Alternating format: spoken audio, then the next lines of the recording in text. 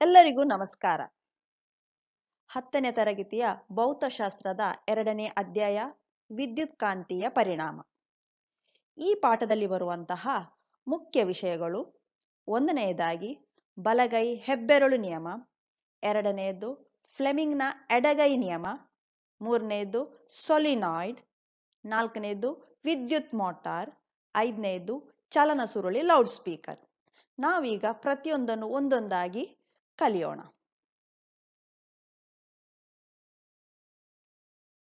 ಮ್ಯಾಕ್ಸ್ವೆಲ್ನ ಬಲಗೈ ಹೆಬ್ಬೆರಳು ನಿಯಮ ಇಲ್ಲಿ ಒಂದು ಚಿತ್ ಕೊಟ್ಟಿರುವಂತಹ ಚಿತ್ರವನ್ನು ಗಮನಿಸಿರಿ ಈ ಚಿತ್ರದಲ್ಲಿ ಒಂದು ಬಲಗೈಯು ಒಂದು ವಾಹಕವನ್ನು ಹಿಡಿದಿರುವ ಚಿತ್ರ ಆಗಿದೆ ಈ ಚಿತ್ರದಲ್ಲಿ ಹೆಬ್ಬೆರಳು ವಿದ್ಯುತ್ ಪ್ರವಾಹದ ದಿಶೆಯನ್ನು ಸೂಚಿಸುವುದು ಉಳಿದ ನಾಲ್ಕು ಬೆರಳುಗಳು ಕಾಂತಕ್ಷೇತ್ರದ ದಿಕ್ಕನ್ನು ಸೂಚಿಸುವುದು ಇದನ್ನು ನಾವು ವಾಕ್ಯರೂಪದಲ್ಲಿ ಹೇಳಿ ಮ್ಯಾಕ್ಸ್ವೆಲ್ನ ಬಲಗೈ ಹೆಬ್ಬೆರಳು ನಿಯಮವನ್ನು ಈ ರೀತಿಯಾಗಿ ಹೇಳಬಹುದು.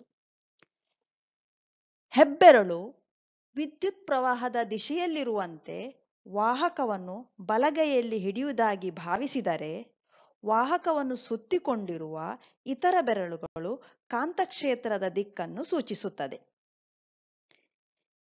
ಇದೇ ನಿಯಮವನ್ನು ನಾವು ಮ್ಯಾಕ್ಸ್ವೆಲ್ನ ಬಲಗೈ ಸ್ಕ್ರೂ ನಿಯಮ ಎಂದು ಹೇಳುತ್ತೇವೆ. ಒಂದು ಬಲಗೈಯಲ್ಲಿ ಸ್ಕ್ರೂ ಅನ್ನು ತಿರುಗಿಸಿ ಗಟ್ಟಿ ಮಾಡುವಾಗ ಸ್ಕ್ರೂ ಚಲಿಸುವ ದಿಕ್ಕು ವಿದ್ಯುತ್ ಪ್ರವಾಹದ ದಿಶೆಯಾಗಿ, ಅದೇ ರೀತಿ ಸ್ಕ್ರೂ ತಿರುಗುವ ದಿಕ್ಕು ಕಾಂತಕ್ಷೇತ್ರದ ದಿಶೆಯಾಗಿ ಇರುವುದು. ಇದನ್ನೇ ನಾವು ಮ್ಯಾಕ್ಸ್ವೆಲ್ನ ಬಲಗೈ ಸ್ಕ್ರೂ ನಿಯಮ ಅಂತ ಹೇಳ್ತೇವೆ. ಇದನ್ನು ವಾಕ್ಯ ರೂಪದಲ್ಲಿ ಈ ರೀತಿಯಾಗಿ ಹೇಳಬಹುದು. ಒಂದು ಬಲಗೈ, ಸ್ಕ್ರೂವನ್ನು ತಿರುಗಿಸಿ ಗಟ್ಟಿ ಮಾಡುವಾಗ ಸ್ಕ್ರೂ ಚಲಿಸುವ ದಿಕ್ಕನ್ನು ವಿದ್ಯುತ್ತಿನ ಪ್ರವಾಹ ದಿಶೆಯಾಗಿ ಪರಿಗಣಿಸಿದರೆ ಸ್ಕ್ರೂ ತಿರುಗುವ ದಿಕ್ಕು ಕಾಂತಕ್ಷೇತ್ರದ ದಿಶೆಯನ್ನು ಸೂಚಿಸುವುದು. ಮುಂದೆ ಬರುವಂತಹ ನಿಯಮ ಫ್ಲೆಮಿಂಗ್ನ ಎಡಗೈ ನಿಯಮ. ಈ ನಿಯಮವನ್ನು ನಾವು ನಮ್ಮ ಎಡಗೈಯನ್ನು ಉಪಯೋಗಿಸಿ ಹೇಳಬಹುದು.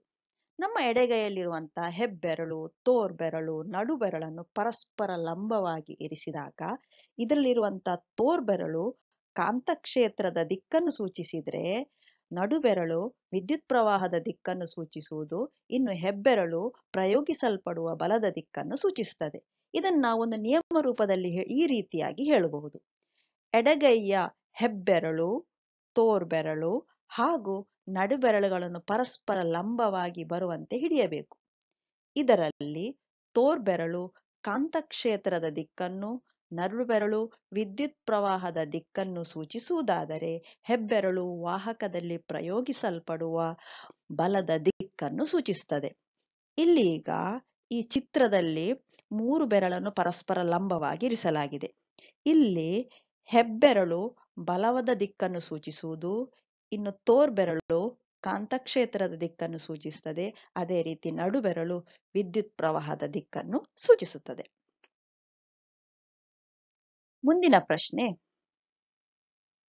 ದಂಡಕಾಂತ ಮತ್ತು ಸೊಲಿನಾಯ್ಡ್ಗಳೊಳಗಿನ ಪ್ರಧಾನ ವ್ಯತ್ಯಾಸವೇನು? ಇಲ್ಲಿ ಎರಡು ಚಿತ್ರವನ್ನು ಈ ಒಂದು ಪ್ರಶ್ನೆಯಲ್ಲಿ ಕೊಡಲಾಗಿದೆ. ಒಂದನೇ ಚಿತ್ರ ದಂಡಕಾಂತದ್ದು, ಎರಡನೇ ಇರುವಂತಹ ಚಿತ್ರ ಸೊಲಿನಾಯ್ಡ್ನದಾಗಿದೆ. ಇವುಗಳೆರಡನ ವ್ಯತ್ಯಾಸ ಒಂದನೇ ಪಾಯಿಂಟ್. ಕಾಂತ ಶಕ್ತಿಯು ಶಾಶ್ವತವಾಗಿದೆ. ಸೊಲಿನಾಯ್ಡ್ನ ಕಾಂತಶಕ್ತಿಯು ತಾತ್ಕಾಲಿಕವಾಗಿದೆ. ದಂಡಕಾಂತದ್ದು ಧ್ರುವಗಳನ್ನು ಬದಲಾಯಿಸಲು ಸಾಧ್ಯವಿಲ್ಲ. ಸೊಲಿನಾಯ್ಡ್ನಲ್ಲಿ ಧ್ರುವಗಳನ್ನು ಬದಲಾಯಿಸಬಹುದು. ದಂಡಕಾಂತದಲ್ಲಿ ಕಾಂತೀಯ ಶಕ್ತಿಯನ್ನು ಬದಲಾಯಿಸಲು ಸಾಧ್ಯವಿಲ್ಲ.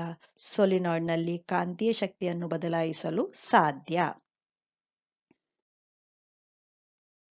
ಮುಂದೆ ಸೊಲಿನಾಯ್ಡ್ ಎಂದರೇನು? ಸುರುಳಿಯಾಕಾರದಲ್ಲಿ ಸುತ್ತಿದ ವಿದ್ಯುನ್ನಿರೋಧಕ ಹೊದಿಕೆ ಇರುವ ವಾಹಕವು ಸೊಲಿನಾಯ್ಡ್ ಆಗಿದೆ. ಈ ಸೊಲಿನಾಯ್ಡಿಗೆ ನಾವು ವಿದ್ಯುತ್ತನ್ನು ಪ್ರವಹಿಸುವಂತೆ ಮಾಡಿದಾಗ ಅದು ಒಂದು ವಿದ್ಯುತ್ ಕಾಂತದಂತೆ ವರ್ತಿಸುತ್ತದೆ ಹಾಗಿರುವಾಗ ಇದಕ್ಕೆ ಎರಡು ಧ್ರುವಗಳಿವೆ. ಇದರ ಬಗ್ಗೆ ನಾವು ಮುಂದಿನ ಪ್ರಶ್ನೆಯಲ್ಲಿ ನಾವು ವಿವರಿಸಲಿದ್ದೇವೆ. ಸೊಲಿನಾಯ್ಡ್ನಲ್ಲಿ ವಿದ್ಯುತ್ ಪ್ರವಾಹದ ದಿಶೆ ಮತ್ತು ಕಾಂತ ಧ್ರುವಗಳೊಳಗಿನ ಸಂಬಂಧವೇನು? ವಿದ್ಯುತ್ ಪ್ರವಹಿಸುವ ಸೊಲಿನಾಯ್ಡ್ನಲ್ಲಿ ಪ್ರದಕ್ಷಿಣಾಕಾರದಲ್ಲಿ ವಿದ್ಯುತ್ ಪ್ರವಹಿಸುವ ತುದಿಯು ದಕ್ಷಿಣ ಧ್ರುವ. ಅದೇ ರೀತಿ ಅಪ್ರದಕ್ಷಿಣಾಕಾರದಲ್ಲಿ ವಿದ್ಯುತ್ ಪ್ರವಹಿಸುವ ತುದಿಯು ಉತ್ತರ ಧ್ರುವವಾಗಿರುವುದು. ಈ ಚಿತ್ರವನ್ನು ಗಮನಿಸಿರಿ. ಈ ಚಿತ್ರದಲ್ಲಿ, ಮೊದಲ ಚಿತ್ರದಲ್ಲಿ ವಿದ್ಯುತ್ ಕ್ಲಾಕ್ ವೈಸ್ ಅಂದರೆ ಪ್ರದಕ್ಷಿಣಾಕಾರದಲ್ಲಿ ಪ್ರವಹಿಸುವಾಗ ಆ ತುದಿಯು ದಕ್ಷಿಣ ಧ್ರುವ. ಎರಡನೇ ಚಿತ್ರದಲ್ಲಿ ವಿದ್ಯುತ್ ಅಪ್ರದಕ್ಷಿಣಾಕಾರವಾಗಿ ಅಂದರೆ ಆಂಟಿ ಕ್ಲಾಕ್ ವೈಸ್ ಆಗಿ ಪ್ರವಹಿಸುವಾಗ ಆ ತುದಿಯು ಉತ್ತರ ಧ್ರುವವಾಗಿರುವುದು.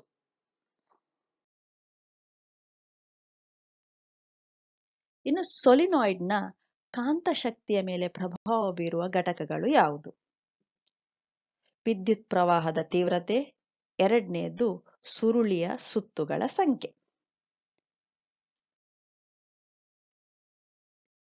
ಇನ್ನು ವಿದ್ಯುತ್ ಪ್ರವಹಿಸುತ್ತಿರುವ ವಾಹಕದ ಚಲನೆಯ ದಿಶೆಯು, ದಿಶೆಯ ಮೇಲೆ ಪ್ರಭಾವ ಬೀರುವ ಘಟಕಗಳು ಯಾವುದು?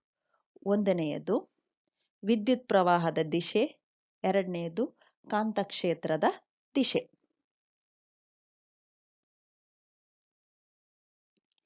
ವಿದ್ಯುತ್ ಪ್ರವಹಿಸುತ್ತಿರುವಾಗ ವಾಹಕದ ಚಲನೆಯ ದಿಕ್ಕನ್ನು ಕಂಡುಹಿಡಿಯುವ ನಿಯಮ ಯಾವುದು? ಫ್ಲೆಮಿಂಗ್ನ ಎಡಗೈ ನಿಯಮ. ಅಂದರೆ ಫ್ಲೆಮಿಂಗ್ನ ಎಡಗೈ ನಿಯಮವನ್ನು ಉಪಯೋಗಿಸಿ ನಾವು ವಿದ್ಯುತ್ ಪ್ರವಹಿಸುತ್ತಿರುವಾಗ ವಾಹಕದ ಚಲನೆಯ ದಿಕ್ಕನ್ನು ಕಂಡುಹಿಡಿಯಬಹುದು. ಮುಂದೆ ವಿದ್ಯುತ್ ಮೋಟಾರ್. ಈ ವಿದ್ಯುತ್ ಮೋಟಾರಿನ ಭಾಗಗಳು ಯಾವುದು? ಇಲ್ಲಿ ಚಿತ್ರದಲ್ಲಿ ಕೊಟ್ಟಂತೆ ಮುಖ್ಯವಾದ ಭಾಗಗಳು ಕಾಂತದ ಧ್ರುವಗಳು, ಎನ್, ಎಸ್, ಮೋಟಾರು ತಿರುಗುವ ಅಕ್ಷ, ಮೂರನೇದು armature, A, B, C, D, ನಾಲ್ಕನೇದು ಗ್ರಾಫೈಟ್ ಬ್ರಷ್ಗಳು, ಎಕ್ಸ್, ವೈ, ಇನ್ನು ಸ್ಪ್ಲಿಟ್ ರಿಂಗ್, ಪಿ, ಕ್ಯೂ.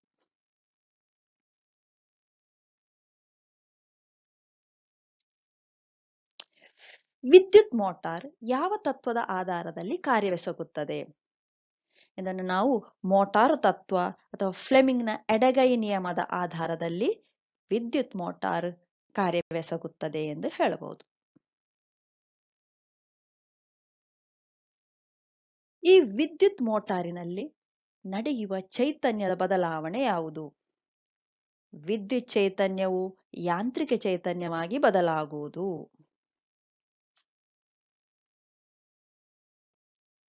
ಚಲನ ಸುರುಳಿ ಲೌಡ್ ಸ್ಪೀಕರ್ ಇಲ್ಲಿ ಚಲನ ಸುರುಳಿ ಲೌಡ್ ಸ್ಪೀಕರ್ನ ಚಿತ್ರವನ್ನು ಇಲ್ಲಿ ಕೊಡಲಾಗಿದೆ.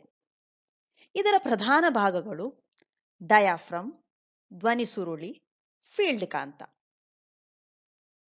ಈ ಚಲನ ಸುರುಳಿ ಲೌಡ್ ಸ್ಪೀಕರ್ ಯಾವ ತತ್ವದ ಆಧಾರದಲ್ಲಿ ಕಾರ್ಯವೆಸಗುತ್ತದೆ? ಅದು ಮೋಟಾರ್ ತತ್ವ.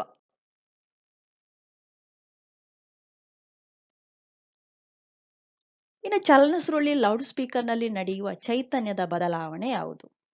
ವಿದ್ಯುತ್ ಚೈತನ್ಯವು ನಾದ ಚೈತನ್ಯವಾಗಿ ಬದಲಾಗುವುದು. ವಿದ್ಯುತ್ ಮೋಟಾರ್ನಲ್ಲಿ ಸ್ಪ್ಲಿಟ್ ರಿಂಗಿನ ಕಾರ್ಯವೇನು? ವಿದ್ಯುತ್ ಪ್ರವಾಹದ ದಿಶೆಯನ್ನು ಬದಲಾಯಿಸುವುದು.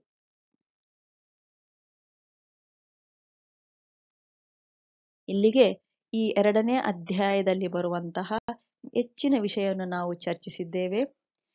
ಎಲ್ಲರಿಗೂ ಧನ್ಯವಾದಗಳು.